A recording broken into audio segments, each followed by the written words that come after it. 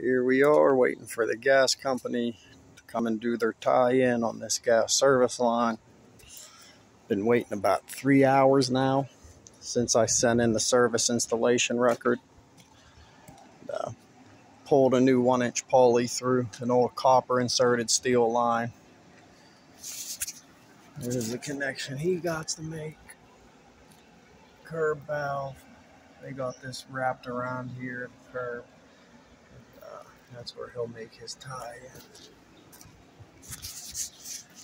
Because I still, I can't backfill until he gets here, so let's hope he gets here soon. Give you a shot at the inside, show you the service head adapter and the steel sleeve we installed. I installed. Just the one person company here. So he has a new one inch plastic line all the way inside the building. It's a two unit building here.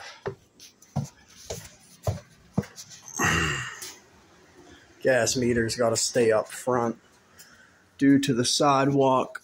Can't impede traffic.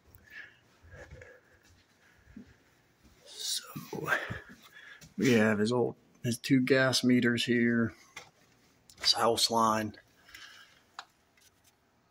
And then we have the new plastic that is back in there with our tracer wire. This is the steel sleeve. This is the service head where the plastic pipe ties in at. There's a stiffener in the connection in here. Perfection Style Corporation. Then the tracer wire is bonded to the steel with a clamp so that they could pick a signal all the way up at the curb valve from here, trace this whole line. It's holding 90 pounds of pressure for the inspection. And once he gets here, we'll hook the house line back in to that service head adapter and we'll restore gas.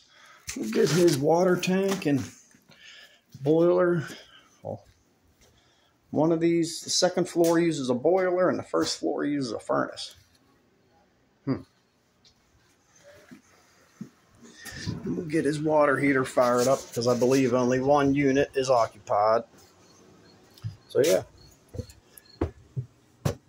New service line from the building to the street.